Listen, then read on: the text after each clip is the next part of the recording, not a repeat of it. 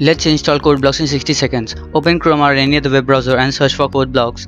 Go to the link that heads to www.codeblocks.org. On the left hand side you'll see a menu bar. There you need to click on downloads. Now click on download the binary release link. Now choose the operating system on which you want to install CodeBlocks. I'll choose Windows. Here you need to choose from two options. One is for 64-bit and other is for 32-bit.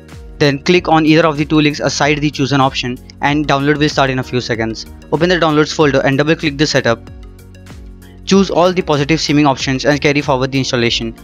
On completion, go to start menu and scroll until you find the CodeBlocks folder. Click to expand and all the required applications will be present there. So this was the software installation in 60 seconds feed CodeBlocks. For complete steps with explanation for installing CodeBlocks, you can watch my detailed video, link will be in the description. Don't forget to leave a like, subscribe to Everything Computerized and press the bell icon to get notified whenever I post videos like this. My name is CA and I'll catch you in the next one.